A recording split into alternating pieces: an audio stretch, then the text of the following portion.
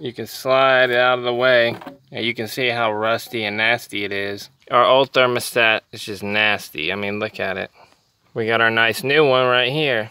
They make different temperature ones. As you can see, this one's 192 degrees Fahrenheit. I'm assuming that's what this old one is. There's no way of telling. It's so disgusting. Thermostat housing gasket maker. Clean it all up. Old gasket. And then you're going to want to clean up your flange too. It looked like it was leaking from the flange right here.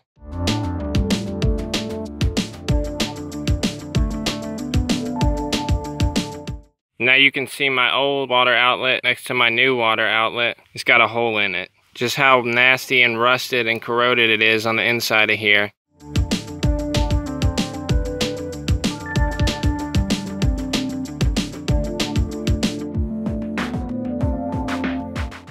Fill up your radiator. Later.